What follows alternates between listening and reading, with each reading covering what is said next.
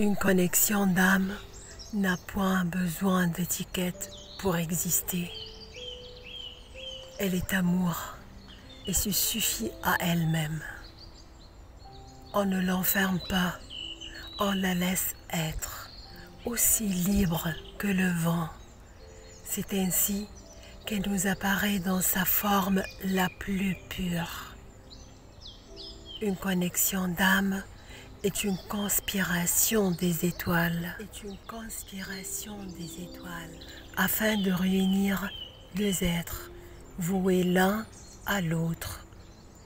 Une connexion d'âme est une certitude que celui ou celle qui nous transporte jusqu'aux cieux est réellement notre évidence. Et réellement notre évidence.